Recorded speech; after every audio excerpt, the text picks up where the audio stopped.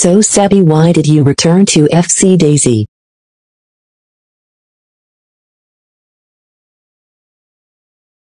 Are you excited to meet your old teammates?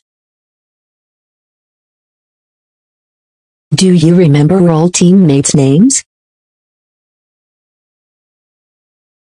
So Steven this is your first official signing are you gonna plan on making more? Yes, I'm going to plan to making more. We need more than four players to sign for us in order to play a match. How is your rebuild going? It's just starting.